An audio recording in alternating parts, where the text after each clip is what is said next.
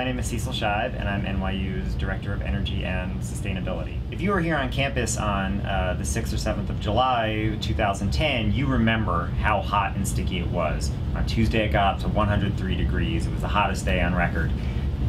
During the actual event, it is a true emergency situation. Like, if we don't respond, we might have a blackout. And the whole campus had to find a way to adapt. We had to keep our mission going. The labs had to be open, classrooms had to be open, but we had to help stop like a citywide energy crisis. The single largest thing you can do in a building save energy, especially when it's very hot and the AC is on full, is to dial back the AC. And so we ask our users to um, accept a higher space temperature during a curtailment.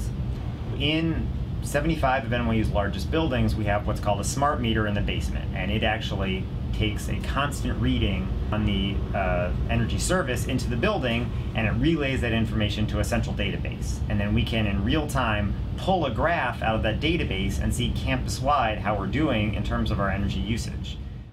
We saved about 14,000 kilowatt hours during the event. And just, just to give a sense of what scale is, that's like taking 5,000 homes off the grid. I think sort of going through this process for the emergency uncovers many areas where we can save energy on an ongoing basis. Uh, shut off copiers or their printers that may not be in use. Shut off any sort of desktop machines that aren't in use. Turn off lights that are not in use.